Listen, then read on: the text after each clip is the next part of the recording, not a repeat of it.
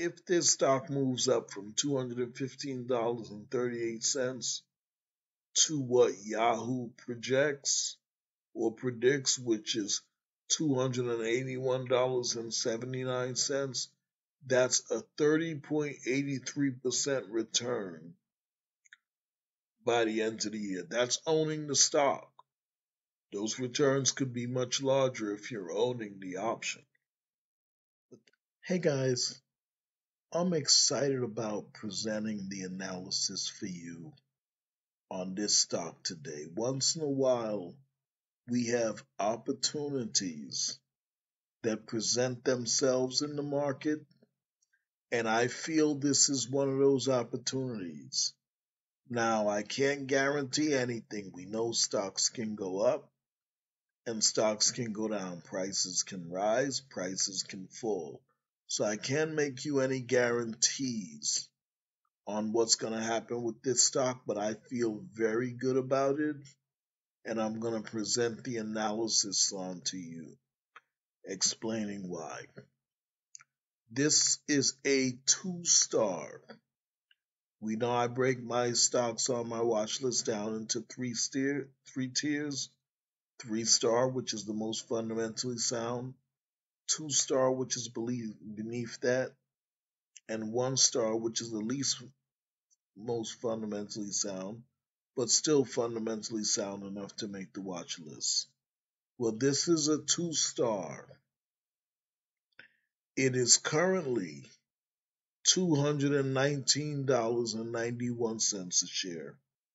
Yahoo analysts estimate in the next 12 months it can go up to $281.79 a share. Now look at where this stock was up here in the 260 range. It's moving sort of sideways. And then it dropped significantly. It was actually all the way down here. It's already started to move back up. And now I'm going to explain to you what caused it to drop. But before we jump into that, guys, for those I'm to I'm to suggest this in this week's option picks. And for those who take me up on it and you get that option, and you make a lot of money, if you want to thank me, I'm a cheap date. You can just buy me your breakfast or something. I'm not expensive. $35 at IHOP. In any event, the Cash App is dollar sign Dwayne Stock Advisory. That's dollar sign Dwayne Stock Advisory. And now let's jump into what caused air products and chemicals to drop. So, we spoke about earnings reports this week. Yum China Holdings and Hershey recently had earnings reports drop. Worked out for both for both stocks. Those invested in them, we made some money. In any event, Earnings report is like a report card for children. And imagine with report cards, your kids are ready to get report cards. And they come back sort of preparing you for what's going to happen before they even get the report card. Maybe a couple of days before. Well, we saw that happen with air, air products. It's shaping up to be a tough period for Air Products and Chemicals Inc., which a week ago released some disappointing first quarter results that could have a notable impact on how the market views the stock. Air Products and Chemicals missed analyst forecasts. Now, what's an analyst forecast? An analyst forecast is when an analyst says what they think you're going to do. Let's say there was an analyst for your kids and they said your kid had a C last semester, but the analyst says I think this semester he's going to get an A. And your kid ends up getting a B. Well, the B is better than the C, but that's not the way it's looked at in the market. The way it's looked at in the market is they missed expectations. And when that happens, people start selling their stock. And when they start selling the stock, the stock drops. So this is what happened. Analysts made a prediction of what they felt the stock was going to do. It didn't do that well. So they missed expectations and people started selling and the stock went down. Having said that, let's hear a little gossip about Air Products. What are what's the chatter about that stock? We know that there's gossip all around the world. Well, there's, there's gossip in financial markets as well. And let's see what some of the people are saying about this stock. Now, remember, this is just gossip. This isn't professional analyst or whatever. But this is what people are saying about this stock. Rob M. on February 2nd said, People like to claim the markets are rational, but I am not convinced. This company posted both earnings and revenue growth at a time when it was facing strong pressure against being able to achieve either. But because the growth was lower than some guesses that analysts made, a bunch of people are selling off like the sky is falling. Well, good. I like buying stuff on sale, and there's a nice sale on APD stock today. So we see that Rob M feels positively about Air Products. What about Arrow 1050? Listen to the earnings call, and my views on this stock have not changed despite the revenue and earnings miss announced this morning. The sharp drop in the share price at the open was clearly an overreaction to the sales and earnings miss. The volume shows that there has not been a big sell off, and the share price has been gradually recovering since the earnings call. The institutions are not bailing, and the stock has a strong base of support. This company has clearly positioned themselves for the longer term, and I continue to believe that the share price will surge towards $400 by year end.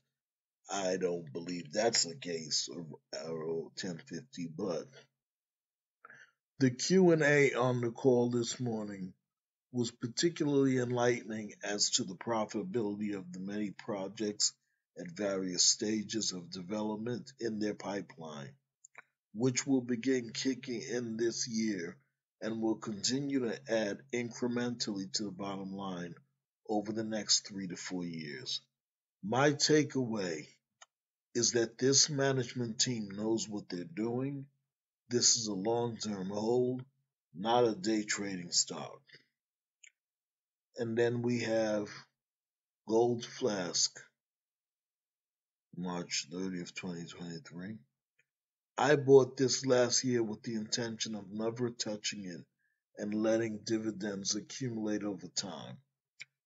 So SP doesn't bother me too much day to day.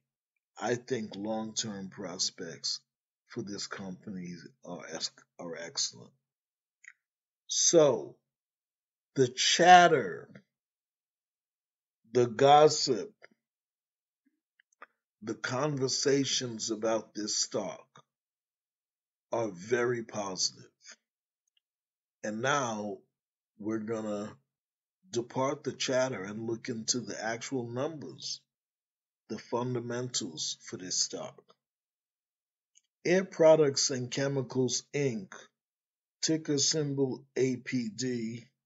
Let's look at the lower and higher prices for the last five years. Well, they do have the 2023 figures for this one.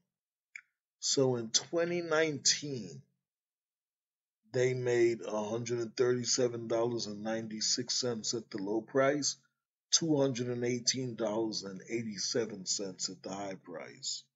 That was an increase of 58.65% over the year. In 2020, they made $161.08 at the low price, $289.80 at the high price. That was an increase of 79.91% throughout the year. Remember, that was our COVID lockdown year. In 2021, they made $235.78 at the low price, $297.54 at the high price. So our low price and high price are increasing every year so far. Now, in 2022, the low price was lower than the previous year. $207.67 cents for the low price, but $315.74 for the high price. Higher than the previous year and a 52.04% return that year. 2023, $252.84 at the low price, $312.77 at the high price. That was a 23.70% return that year. Now, we are catching this stock at 280 oh, I'm sorry. We are catching this stock at $215.38. The current price now cuz it's moved up is $219.91. But when I caught it it was $215.38 at a 20.57 PE ratio.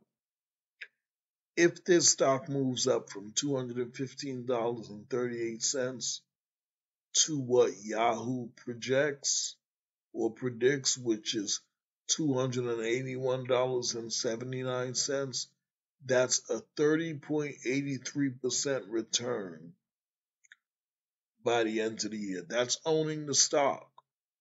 Those returns could be much larger if you're owning the option, but that's owning the stock. Now, we're in February. Air Products has an earnings report coming out on May 7th of 24, 2024.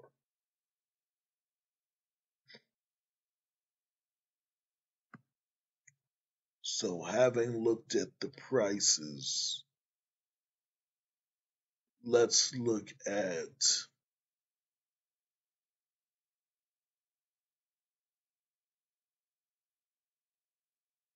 the income statement. So in 2019, they made eight billion nine hundred and eighteen million nine hundred thousand in sales and revenue. They retained one billion seven hundred and sixty thousand at the end of the year after paying expenses. That was a 19.73% return. In 2020, COVID lockdown year, they made eight billion eight hundred and fifty six million three hundred thousand in sales and revenue. They retained one billion eight hundred and eighty six million seven hundred thousand after paying expenses. That was a 21.30% return. In 2021, they made 10 billion 323 million in sales and revenue and they retained two billion ninety nine million one hundred thousand after paying expenses. That was a 20.33% return. In 2022, sales and revenue increased even more.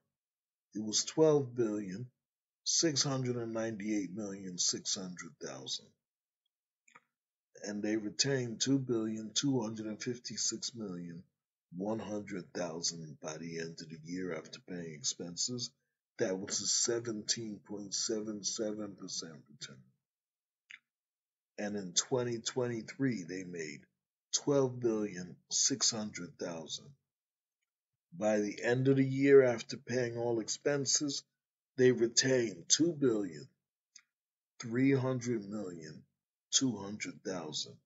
That was a 18.26% return. Lower profit margin, not much. So I would say that's good to decent for those five years. And if we look at their return on equity, in 2019, their return on equity was 15.45%. 2020 it was 15.16%. 2021 it was 14.90%. 2022 it was 16.46%. And in 2023 it was 14.69%. And their debt to equity in 2019, 66.34%, 2020, 102, 102.27%, 2021, 90.65%, 2022, 98.45%, and 2023, 104.35%. So I would say their balance sheet probably be decent to good because their debt to equity was. Their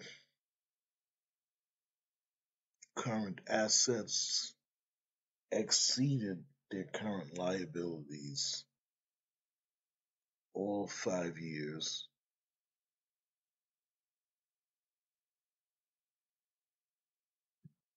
And their total assets exceeded their total liabilities all five years.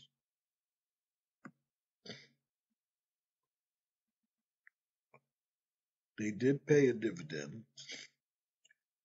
In 2019, they paid 994 million in dividends. In 2020, they paid 1 billion 103 million 600 thousand. In 2021, they paid 1 billion two hundred and fifty-six million seven hundred thousand. In 2022, they paid one billion three hundred and eighty-three million three hundred thousand, and in 2023, they paid one billion four hundred and ninety-six million six hundred thousand. So they are paying a dividend. Now, the thing I don't like you can have a company that can buy back their own shares. We always love that. Or they can be selling more shares, which we don't like. We know a company can make money in one of three ways.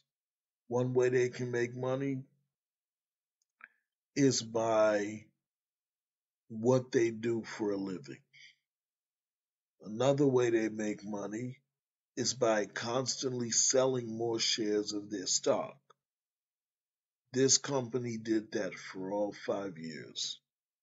In 2019, they sold 68,100,000 worth. In 2020, they sold 34,100,000 worth. 2021, they sold 10,600,000 worth. 2022, they sold 19,300,000 worth and in 2023 they sold 24 million worth. So that I don't like to see. And that would be a reason why I would have dropped them to a two star instead of a three star.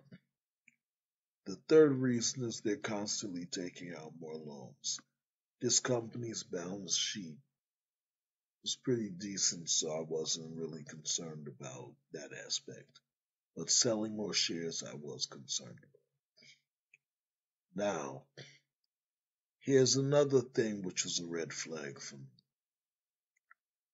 In 2019, they had 991,300,000 in free cash flow. 2020, they had 836 million in free cash flow. 2021, they had 908 million 500,000 in free cash flow. 2022, they had 290 million 300,000 in free cash flow. But in 2023, their free cash flow was negative.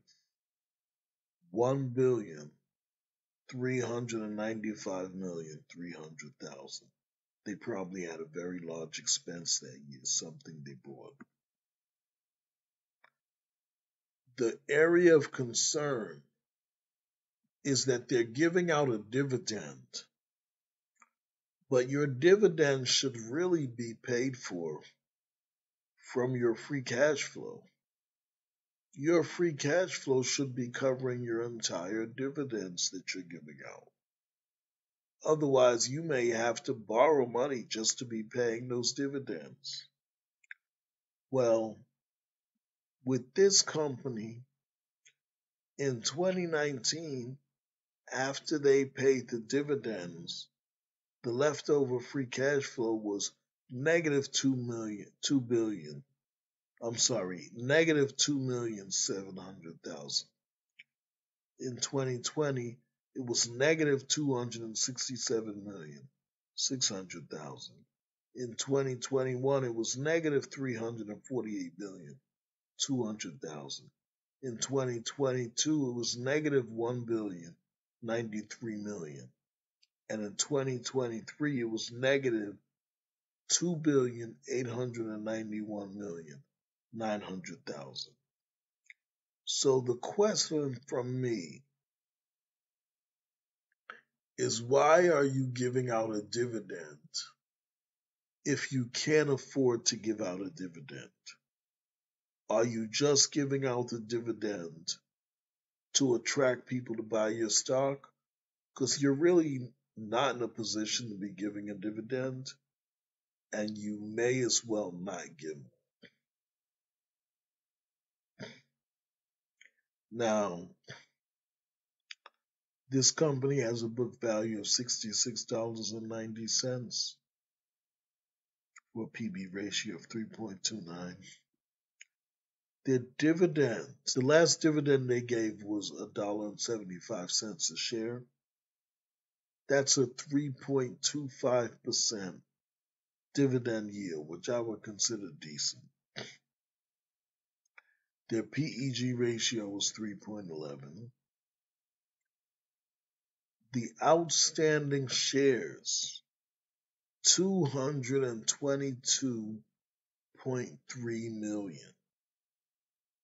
And of those outstanding shares, 0.32%, that's under 1%, are owned by insiders, those who work for or involved with the company. And 85.90% are owned by large banks and institutions. They will be giving a dividend, and that dividend you have to own the stock before March 27th of 2024 to be eligible for that dividend. And dividend will be given out on May 12th of 2024. And we know that this stock was 0.86% beta, moves slower than the market, but not significant. Now, Mr. Seifollah Ghasemi, born 1944, a little concerned about his age, but he is the chairman, president, and CEO.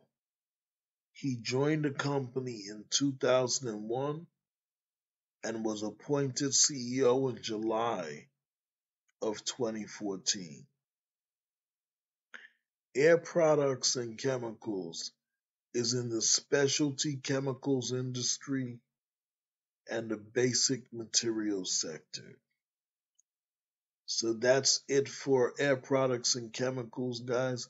I see a couple of red flags with this stock, but I feel good about the long term prospects of it. I feel good about where it's going to move up to in the long term. We know we can make no guarantees with stocks.